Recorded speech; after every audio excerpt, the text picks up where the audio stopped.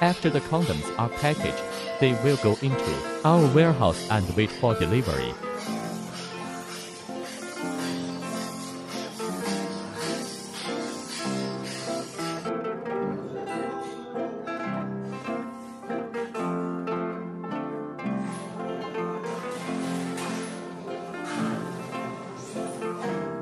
You can have your own brand package